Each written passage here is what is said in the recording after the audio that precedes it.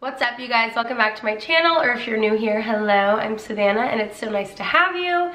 In today's video, I'm going to be talking about why I look like a psychopath right now. So, I know that sounds like so abrupt, but if you guys saw in my last vlog that I posted, you know that I got chin Botox and I basically just got it because I had some lines in my chin that appeared whenever I would like make certain expressions. So whenever I would laugh, I would smile or really just anything. And it really just drove me crazy. And since I already had a Botox consult planned, I went ahead and kind of like showed her that. And I had no idea that Botox would be even be an option for that. I almost thought it was kind of more like a filler situation. And if it was the case, then I wasn't gonna do that because filler is way more expensive than Botox and to like keep that up is just like way, way, way expensive and I just didn't care about it that much. But whenever she told me that Botox could help the situation, I was like all over it. Um, especially because it wasn't going to require that many units of Botox anyway to kind of fix the problem. So I went ahead and was like, look, like this drives me crazy. If this is something that's going to fix it and like make me more secure, I guess. I know it sounds silly, but we're human and we all have things that we like don't like about ourselves and if there's something that we can do to kind of like minimize it or get rid of it as a whole, then I feel like we're always all over that. So I was all about it and I was like, look, let's just go ahead and do it. So we started off with four units in my chin and about three days later, I literally could not smile anymore. And I'm sure you can tell when I'm talking, maybe not because I'm a little bit far away, I'm gonna come close. And you can see like whenever I'm talking that my lower lip almost makes a frown motion instead of like a smile motion. I don't even know how to explain it. I'm not educated on the muscles in the lower face or Botox at all. Um, this is mainly just like a video to kind of help you if you are looking into getting Botox in your lower face to kind of be like, hold up, you know, figure out everything that's gonna go into it first and what else it could affect. Hello? Yeah? Sorry about that. Anyways, as I was saying was, um, the reason I'm making this video is basically to just kind of give you guys a heads up because I totally did not see this coming at all. I am a very expressive person and the fact that I can't smile anymore is like driving me crazy. And I know right now there's so much going on in the world that's like so much more severe. And this is honestly just like a lesson learned. Like honestly, it's funny to me now. I'm laughing about it.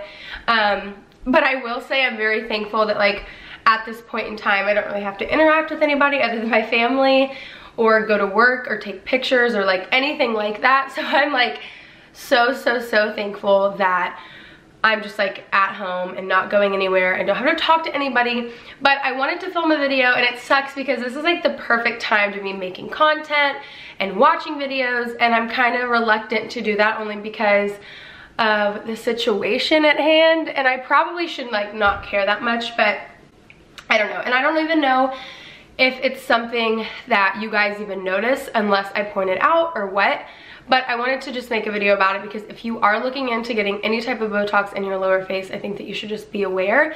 Make sure you ask all the questions, what else it could affect, what other muscles it could affect, if you're gonna, if it's gonna make your eating weird, your talking weird, all of those things. Because another thing that I've also noticed is when I brush my teeth, since my lower lip sits on, like when I open my mouth, even whenever I just open my mouth, like that, my lower lip sits on my lower teeth. So I've found that like brushing my teeth is kind of weird. And then another thing that's like the worst is whenever I eat. So like I showed you, whenever I open my mouth, my lower lip sits on my lower teeth so it kind of gets in the way whenever I'm like say I'm eating a sandwich I like go to bite down I'm not like biting my lip but I'm having to like awkwardly move my lip and luckily I only got four units, so it's not like that muscle is like so tight to the point where I can't even control it. Um, I can still move it, I can still feel it, all those things. But unfortunately, I'm just gonna have to deal with it. You live and you learn. I can't really smile. I feel like I talk weird. Maybe not. I think just certain words sound weird coming out. And then like brushing my teeth, eating. Honestly, it is what it is. I'm gonna have to just like wait it out. Unfortunately with Botox, you can't have it dissolved. You can't have it reversed. It's just, it's already in there and you just have to kind of go with it. Luckily, since I got such a little amount, I'm hoping that it doesn't take long for it to wear off. Botox usually lasts around four to six months, I believe. Don't hold me to that. I'm pretty sure though. Um, and I don't think it even depends on how much you get. I think it still lasts four to six months. But during that time, it is slowly dissolving. It's slowly going back to normal. I actually watched a YouTube video about this because I was like freaking out. I had no idea that this was gonna happen.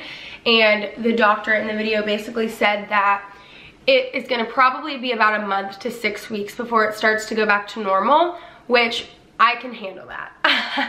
I'm inside anyways. We're all in quarantine, so like I can totally handle that. But I just wanted to make sure that I let you guys know how like the results went because I remember mentioning in my vlog that I was gonna let you guys know. Um, so yeah, this is pretty much the reality of it. I can't smile. I'm trying so hard. Like I'm not even exaggerating. I am truly trying so hard to smile and I can't. And um, you know, I don't know. It's honestly funny. It's such a joke now. I was kind of like scared about it at first because I was like, what the heck? Because that was kind of before like all of this got pretty serious and I was still gonna have to go to work.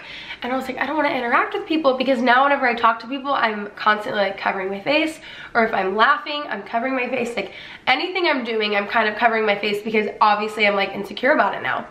So it's just whatever. It is what it is but I wanted to just make this video so you guys could see if you're looking into getting it. Just be aware. I'm not saying don't do it because maybe, I don't know, maybe just maybe the person that did my Botox put it in the wrong area. Maybe they put it in the wrong muscle. I have no idea. That honestly could have been it because I just don't think that there's any way. I'm sure there's tons of people out there that get chin Botox because it's a big thing to get like the dimpling in your chin gone. And if that's gonna affect somebody's smile, I really don't think that that would be like something that people would consider at all. I would never, like I would way more have, or I would so much rather have the lines on my chin than not be able to smile. So I'm like regretting this so much. And I guess this is a sign that I should just be happy with what I have and what the Lord has given me. But anyways, I hope you guys enjoyed this video. I know it was really short and it was more so just like me giving you a heads up if you're considering getting this done or you can just watch it and laugh at me. I don't even care. I've been laughing at myself. But I might possibly make more videos even though like this is the situation. I don't know yet. I really want to just because like I said it's the perfect time to do it. But I don't know. I want them to be like really good videos and like I don't want to feel insecure in them because I wanted to do like a clothing haul. I got some new spring pieces and I don't know. Those types of videos I want to feel like my best in. So I don't know. Um, maybe I'll upload some stuff, maybe not. But I'm glad I at least got this video up so you guys could kind of see the results of the Botox even though it wasn't a good one. But just learn from my mistake, ask the questions, make sure you're seeing like the best person for this area and I don't know. Anyways, I am so glad you guys watched this video. If you like this video, give it a thumbs up. And also, if you are new here, it would mean so much to me if you would subscribe. And I'll see you guys in my next video.